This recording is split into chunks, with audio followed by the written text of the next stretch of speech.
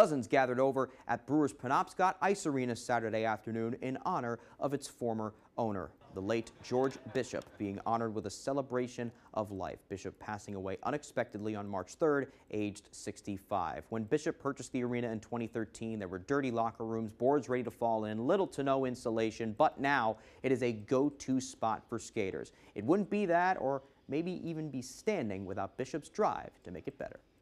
He started work the day they signed papers, started with the bathrooms, got them clean and sanitary. The boards were short to follow. It was just amazing how fast it all happened and the amount of effort he put in. I mean, if it wasn't for him, this would be a storage facility. His presence and his ability to be able to make this place what it is now is just amazing and his influence on the expansion of local youth hockey can't be understated. He gave the Penobscot Pioneers a home at the PIA. He was on the board and coached for the Maine Inferno girls youth team.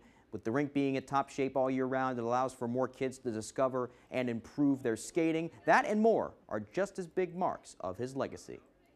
He did stuff for free with his own time, with sometimes with his own money, um, and just to really grow the game and get every as many kids possible playing. The people and the groups that he's affected is just you know you can't even you can't even put a word to it. You can't speak to it.